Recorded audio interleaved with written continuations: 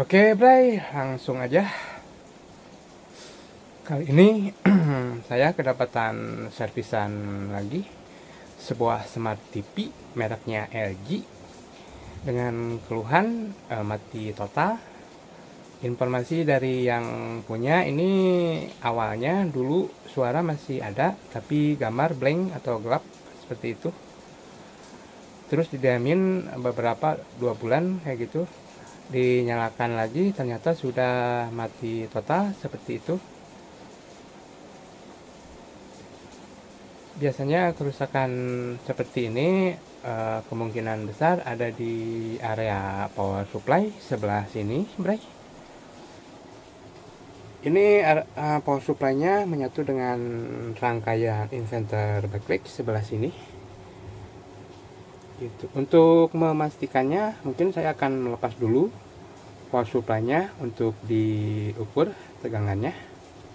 Oke, uh, saya skip dulu videonya. Saya akan coba melepas dulu. Cekidot.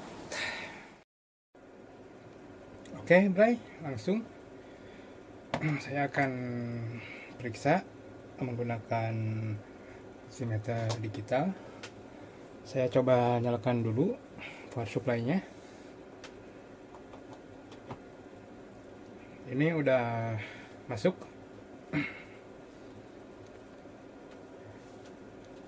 Coba diukur. Out yang sebelah sini Bray. Di sini ada tertulis 13,2 nah, kita lihat berapa keluarannya ada Bray hadir cuman tinggi uh, 16 15 16, sekian seperti itu. Ini power on belum masuk nanti coba saya hubungkan on kan ini posisi dalam keadaan standby. Terus ini uh, tegangan yang menuju ke backlight inverter sebelah sini ada besar sekali Bray sekitaran 260 volt. Cuman masih tetap naik turun seperti ini. Ini menandakan uh, unit power supply nya uh, tidak stabil ya Bray itu saya akan coba terlebih dahulu menghubungkan power on nya ke sebelah sini Bray. Ke out yang 13,22 volt. Menggunakan resistor 100 ohm seperti ini. Coba dipasang dulu. Di on kan dulu. Tegangan power on nya dikasih tegangan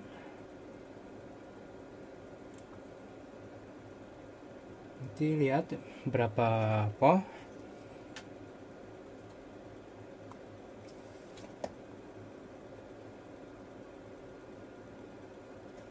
Apakah ada perubahan?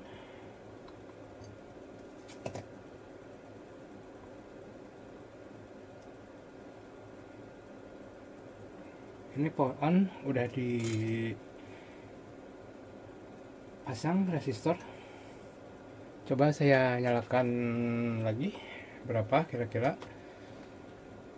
Keluar tegangannya.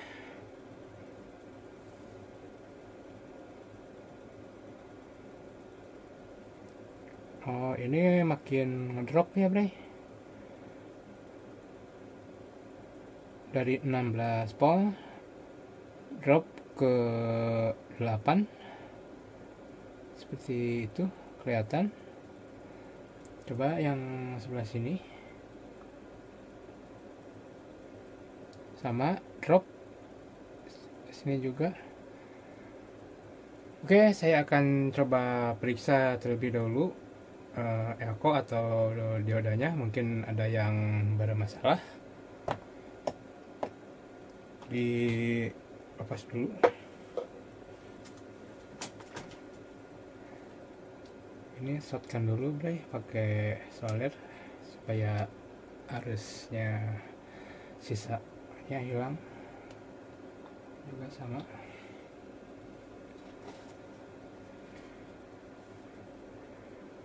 Ini saya menggunakan multimeter analog untuk mengukur apakah ada dioda yang short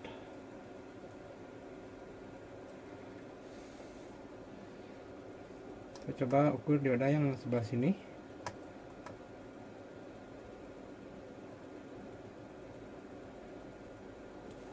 Bagus. Ini dioda yang menuju ke backlight eventer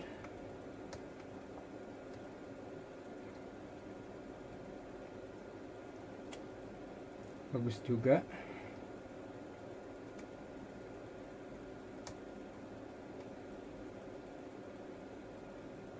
bagus. Ini juga bagus. Coba dilepas elko-nya mungkin uh, bermasalah sebelah sini.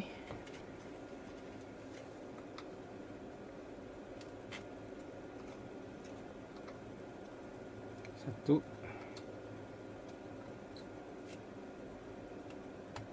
Dua. Terus elko yang sebelah sini coba diukur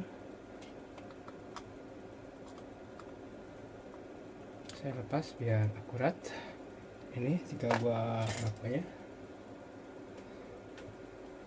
oke saya coba ukur elkonya. Ini kapasitasnya 470 mikrofarad 25 volt. Yang buat tegangan 13,2 bagus play apanya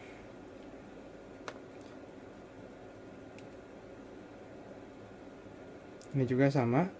Bagus. Terus satu lagi ini yang 10 mikro 350 volt. Coba diukur.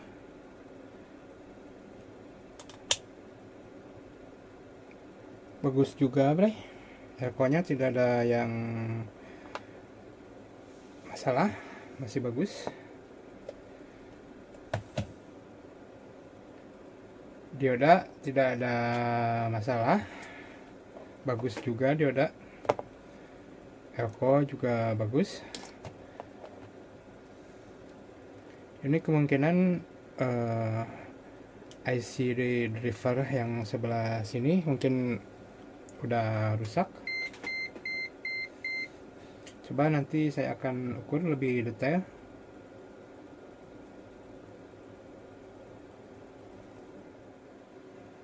oke play dilanjut. Saya akan coba mengukur di area dripper. Coba nyalakan.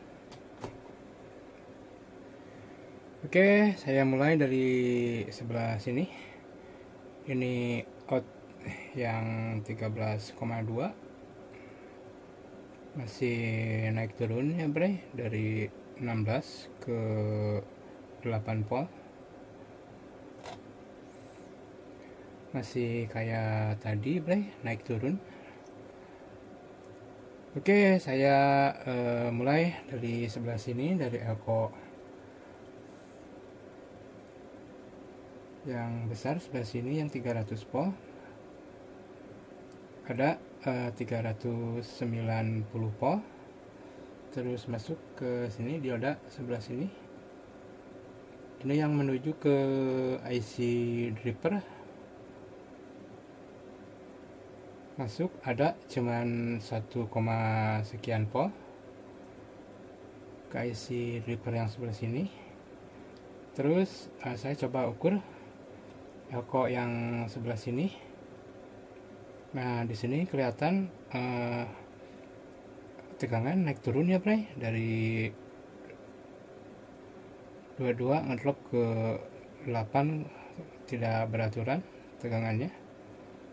Ini menandakan tidak stabil dari drivernya. Gitu ini elko yang dekat IC autocoupler sebelah sini. Ini kemungkinan IC Reaper yang ini yang kodenya uh, SSC 3S927 kemungkinan rusak. Gitu berhubung saya tidak punya uh, spare partnya Bray. Kalau ini balannya juga tidak punya saya.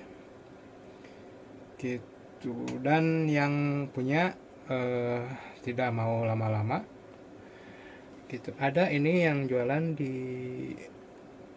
online cuman harus pre-order Bray sampai 14 hari. Gitu dan akhirnya diputuskan uh, saya membeli unit power supply-nya bekas dari rekan. Ini bre seperti ini penggantinya sama. Beda tipis sedikit tapi bisa dipakai gitu jadi ini uh, sebagai bahan pertimbangan aja gitu ini uh, unit nya unit power supply-nya normal, Bray. Oke, saya akan bandingkan dengan yang power supply yang rusak ini. Ini yang normal, kira-kira tegangan waktu standby berapa dan waktu on berapa kayak gitu, Bray. Oke, saya lepas dulu ininya dipindahkan. Nanti buat ke sini.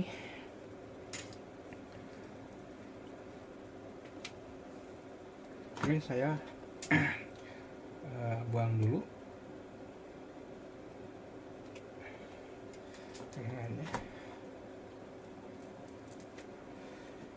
Oke, dilepas kabel AC-nya. Saya coba pasang ke unit yang normal.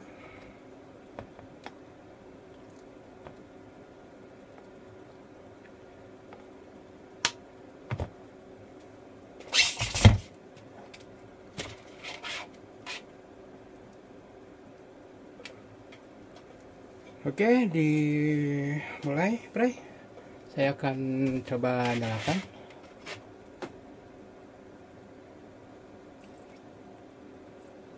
Coba uh, kelihatan tidak, Bray? Coba atur dulu posisinya.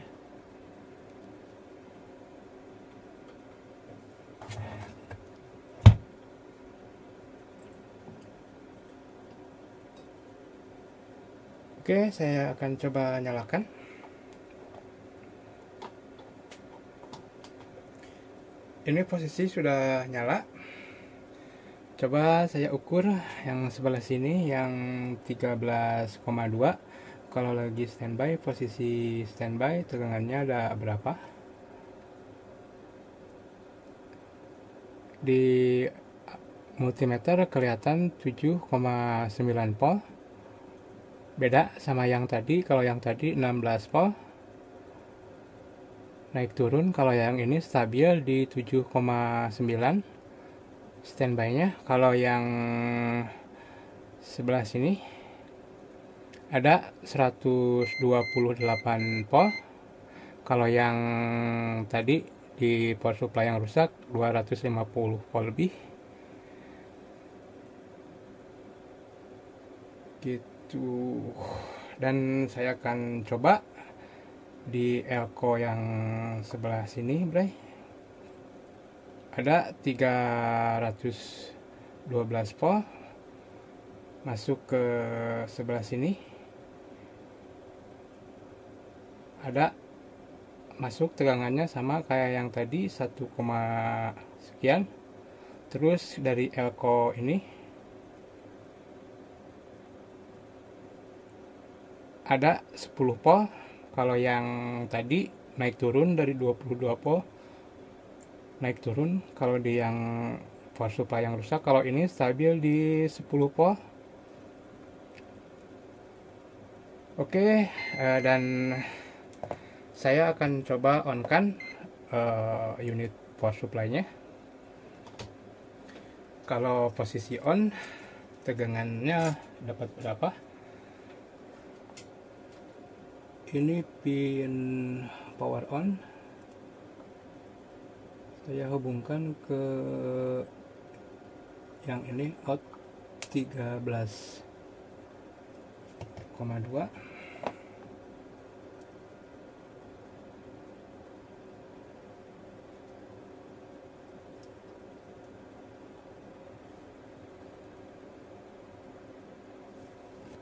Oke, saya nyalakan. Kira-kira dapat berapa di sini normalnya?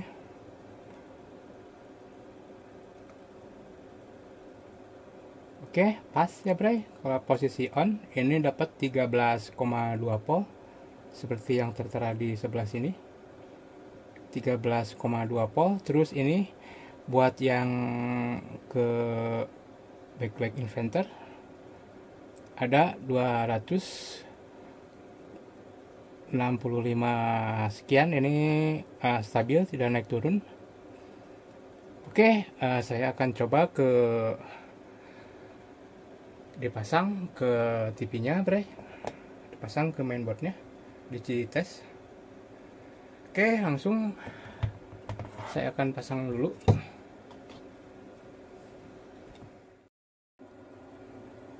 Oke, okay, uh, eh, power supply-nya sudah dipasang uh, dan saya akan coba nyalakan TV-nya. Nah, kelihatan backlight-nya udah nyala. Coba diukur ulang outnya.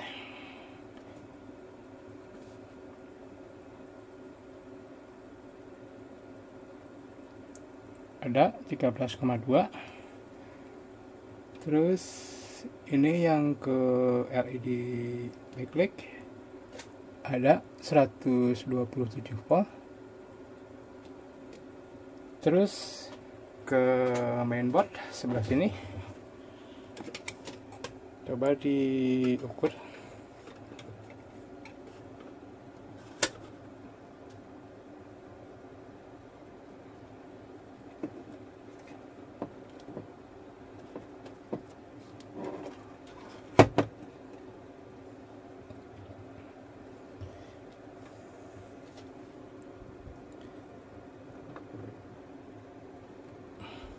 ini step down ada 1,8 volt. Ini juga sama. Ada 5 volt. Terus sebelah sini ada 3,4 terus yang ke eco sebelah sini juga ada 28 biasanya ini buat PGH ada. Coba dikasih antena TV nya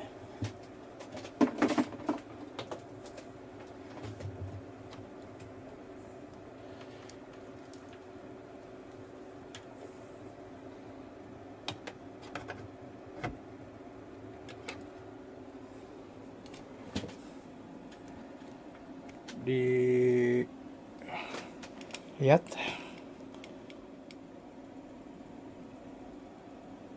oke dan ini dia bray. Penampakannya. Alhamdulillah bray. Nyala. Normal. Gitu bray. Oke uh, sekian dulu bray. Uh, tutorialnya. Uh, terima kasih. Semoga bermanfaat dan jangan lupa bray like and subscribe seperti biasa. Oke okay, uh, mantap jiwa mempesona